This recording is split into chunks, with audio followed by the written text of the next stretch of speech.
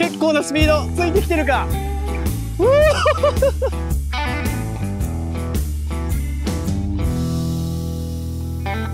えー、おはようございます。松です。本日もご視聴ありがとうございます。今日はですね前回の動画に引き続きましてこちら。じゃん。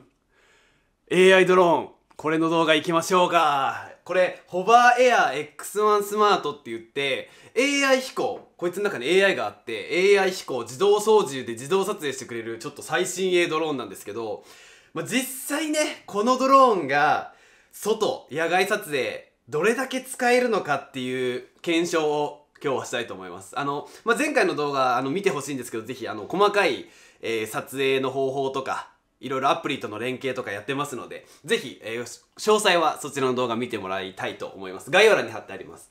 では、じゃあ今日は早速、こいつ持って、外行って、自転車乗って、撮影したいと思います。実際使えるのか、めっちゃ気になりますが、では、今日も一日よろしくお願いします。はい、というわけで、ちょっと近所の川辺にやってきました。近所といっても、もうすでに30分ぐらい自転車こいだんで、だいぶ暑いです。ちょっとここで撮影していこうと思います。ちょっと準備するか。いや、準備もめっちゃ手軽でさ、この、カバンの中に本体とバッテリーただポンって突っ込むだけで来れるのめっちゃ良くない？めっちゃ楽。コントローラーないし。バッテリーも充電バッチリ3つ持ってきました。まあ、多分こんなに使わないと思うけど。よし、繋がった。バッチリ。外でも完璧。一瞬で繋がる。よし、じゃああとはちょっとこのアプリのいくつかモードでいろんな画角で撮影して、それつなげてショートムービーみたいな感じにしてみようかな。では。うん、いいね。よし、じゃあこれでちょっと自転車乗ります。ついてきてくれるかな？行きます。レッツゴーおいでどうだ？結構なスピードついてきてるか。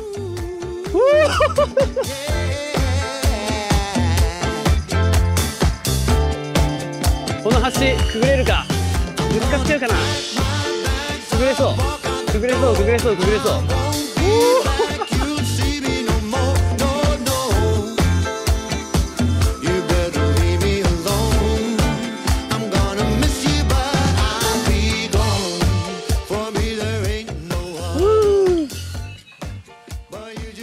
よしこれさフロントフォローの場合はどうやって戻す？あ戻ってきた。止まったら戻るんだ。めちゃくちゃ頭いいな。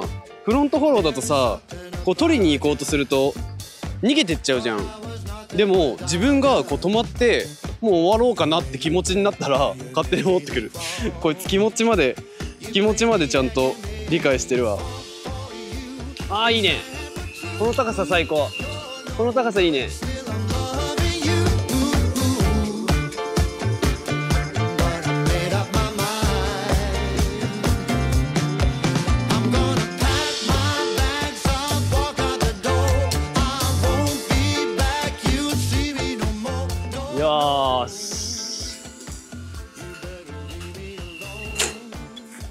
いいね。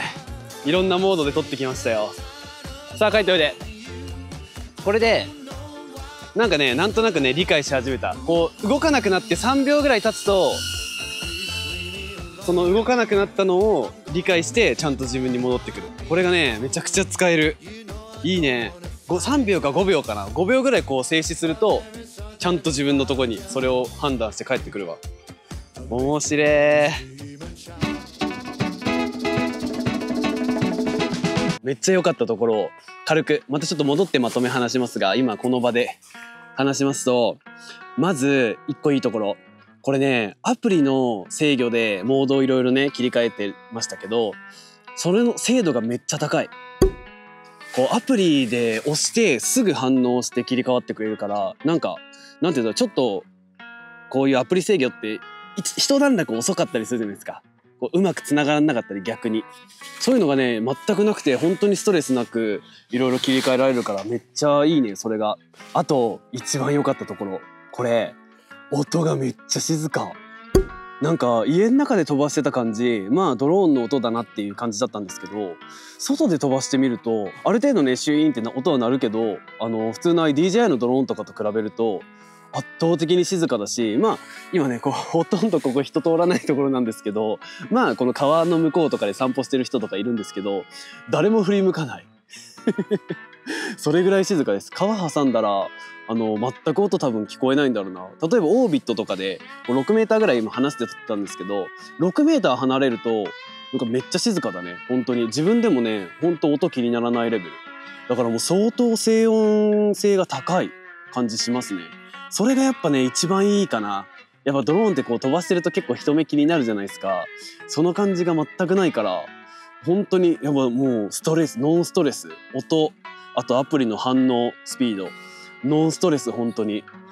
というわけで今どんぐらい ?5 時。だから1時間ぐらい遊んじゃったな。今バッテリー2個使いました。1時間遊んで、まあ、YouTube 用以外にもインスタ用でもいろいろ撮りましたけどそれでもバッテリーあと1個残ってるからだいぶ余裕だね。いいですね。ということでちょっとこっからまた30分ぐらいかけて自分は家に帰ります一旦。でまたちょっと家で軽くまとめ話して終わりですね今日の動画は。いやー面白いね。ということで帰ります。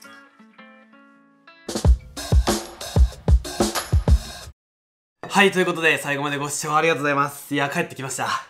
今ね、これ撮影してた映像をちょっと PC とかスマホとかで確認してたんですけど、結構、あの、外で撮る映像は印象がまた違うね。やっぱり、えー、外の方が明るいから結構綺麗な映像だっていうのと、前回は家の中で飛ばしてたから、まあそれなりに暗いし、やっぱ外の方がこのカメラ性能を、まあもちろん存分に引き出せてる感じがしました。あと結構色味があと、ビビッドな感じだね。ちょっと色味が濃いめに出てる感じだから、まあ自分は編集でこう軽くいじったりはしてると思うんですけど、アクションカムか。アクションカムっぽい、こう、色味な感じだから、まあその辺は、えっと、好みにもよると思いますけど、まあ編集とかね、まあスマホでも今簡単にいじれるからね、その辺は、まあ好きなようにいじれ、いじって使うのがいいかなと思いました。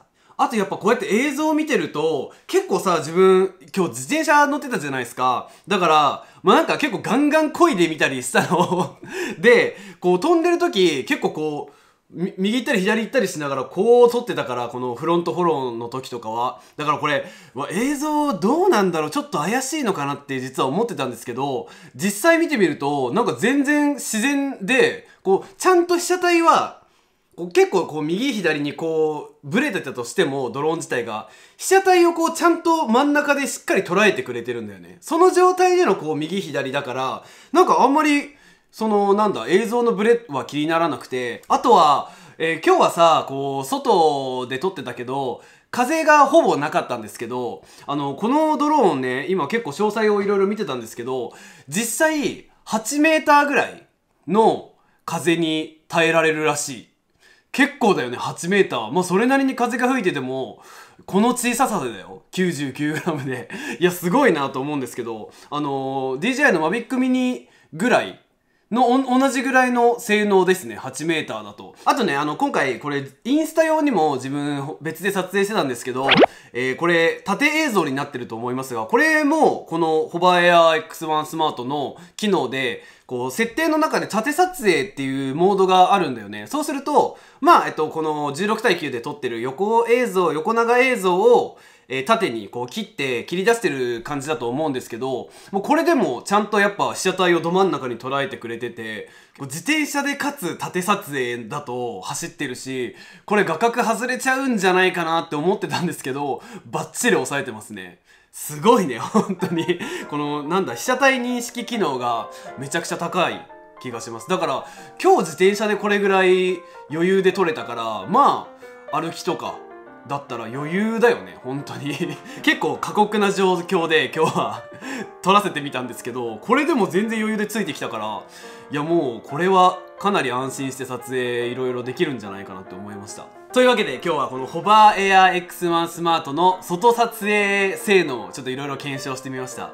いやこれは何て言うんだろうもう楽しくてとりあえず 楽しすぎて、えー、まあ日常的に自分もいろいろ撮影してみようと思います。なんかあの細かい詳細とかはあの概要欄にページ貼っとくのでぜひそっちから見てみてください。